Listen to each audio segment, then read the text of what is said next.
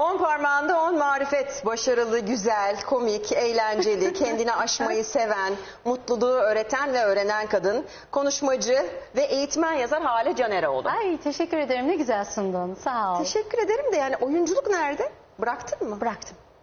Bırakılır mı oyunculuk Hale? Bırakılır niye bırakılmasın? Gerçi neden bıraktın?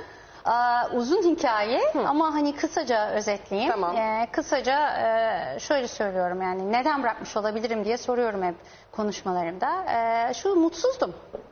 Yani e, önce şuna döndüm. Seni Ee, tanımlayan bir iş değil miydi? Yani aslında çok severek yaptım. Yaparken de çok eğlendiğim Evet. ve Avrupa Yakası gibi bir dizide e, var olabildiğim için çok şanslı bir oyuncu. Ve müthiş bir karakter. Evet ortaya yani hani e, gerçekten hani bir dizide oynadım ama olabilecek bence en güzel dizilerden birisiydi. Dizi tarihimize baktığımızda çok şanslı bir, Bir oyuncu. dizide mi oynadın sadece? Evet evet. İşini biliyor musun? Geniş Bir ailede dizi de oynadım. oynadın. 13 bölüm ama yani 7 yıl Avrupa yakasında oynadım ve hani dönüp bakıyorum çok şanslıymışım gerçekten. Ama e, yıllar içerisinde şunu fark ettim e, mutlu o, değildim. Ama hem başarılı olduğunuz, hem çok takdir gördüğünüz, hem hani iyi para kazandığınız bir işte e, mutlu olmadığınızı kabullenmek e, çok uzun bir süreç. Çok uzun ve zor. Çok zor. Yani bir çok yanılsama zor. vardır orada. Evet. Demişsin ki bir röportajında büyük bir enkazdan son model bir jet yarattım. Evet yani Avrupa yakasının son bölüm yani son döneminde artık iyice mutsuz olduğumu fark etmeye başlamıştım.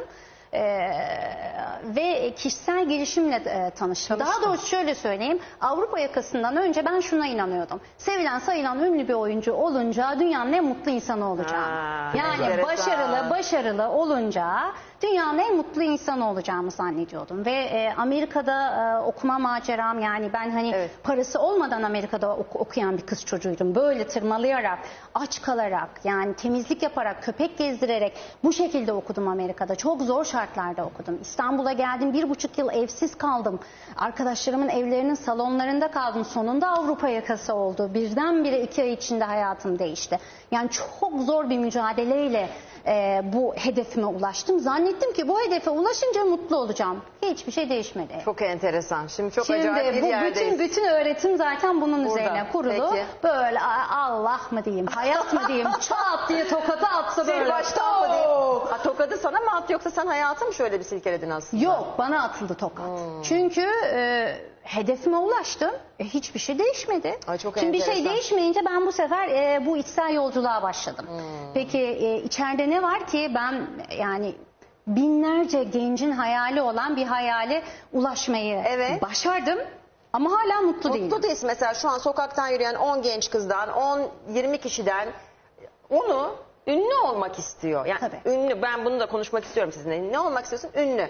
Ne yapmak istiyorsun? İşte oyuncu olmak, sunucu olmak.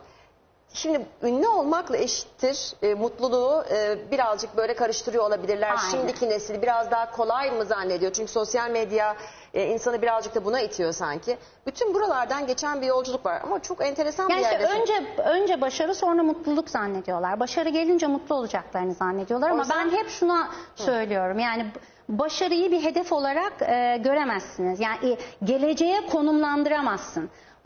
E, şey mutluluğu pardon bir hedef olarak göremezsin. Mutluluk arkasından koşulabilecek bir hedef olamaz. Mutluluk şu anda yaratacağınız bir ruh hali. Şu anda mutlu musun?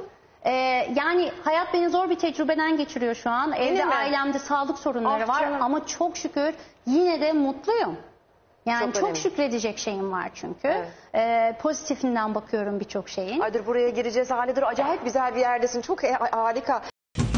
Kadın isterse her şey olur bir umut meleğiyle